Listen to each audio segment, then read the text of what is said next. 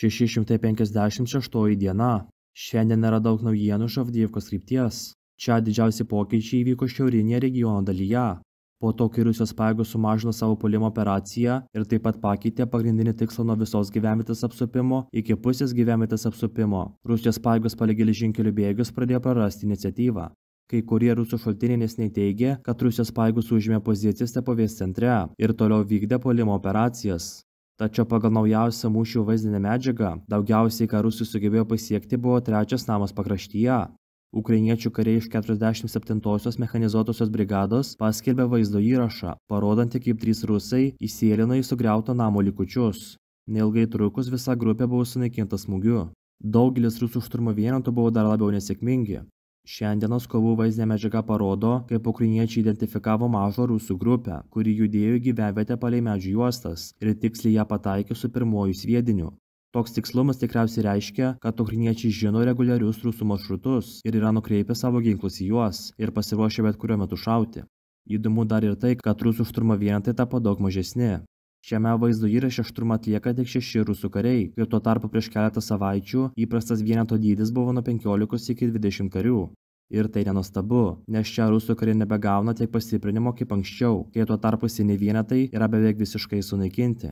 Vienas rusų karys neseniai paskelbė vaizdo įrašą, kuriame apibūdino situaciją.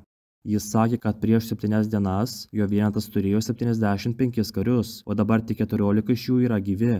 Jis teigė, kad jie yra nutolę maždaug 500 metrų nuo ukrainiečių pozicijų ir dėl nuolatinės artilerijos, minosvaidžių ir dronų ugnies jie net negali surinkti savo žuvusių karių, taigi miškuose aplink juos yra pilna lavonų.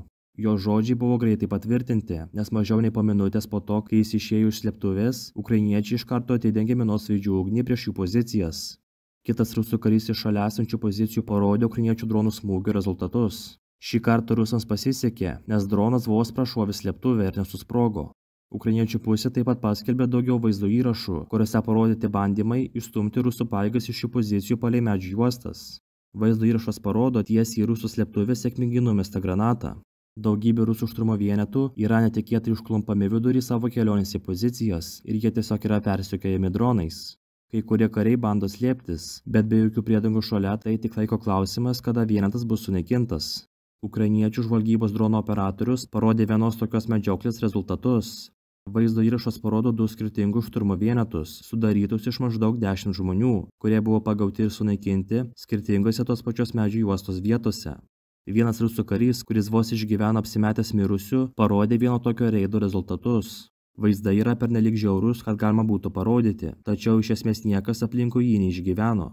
Taigi Rusijos pajėgos šiame regione susiduria su rimtu karių trūkumu. Kadangi didžioji dalis žmonių jau buvo išnaudota per nesėkmingus frontalinius puolimus prieš Stepovę, o pastiprinimo horizonte nesimato, ukrainiečiai pradėjo smogti vis giliau ir giliau. Kai kurie rusų analitikai teigia, kad staigus Rusijos paėgų dėmesio perkeliamas nuo šio regiono yra nepateisinamas, nes ukrainiečiai tikėtina bandys pagerinti savo taktinės pozicijas, atimdami rusų laimėjimus, kurių jie pasiekė didelę kainą. Be to neseniai ukrainiečiai nustatė ir sunaikino kitą svarbią rusų bazę, šį kartą Makyivkos mieste, kuris yra Donetsko miesto dvinys. Rusų šaltiniai pranešė, kad ukrainiečiai panaudojo keturias HIMARS raketas, kad smogtų į vieną iš pagrindinių kūro saugyklų regione. Kūro saugyklų sunaikinimas reiškia, kad rusų pėstininkai gaus dar mažiau paramos iš tankų ir šarvuotų kovos mašinų, dėl ko ukrainiečiams bus daug lengviau atremti rusų puolimus. Visų šių veiksnių, tai yra svarbios kuro saugyklos sunaikinimo, svarbios amunicijos saugyklos sunaikinimo ir didelių problemų su personalo skaičiumi šiaurinėje regiono dalyje kombinacija, padaro rusus labai pažeidžiamus ir suteikia ukrainiečiams puikią progą atlikti savo kontrpolimus.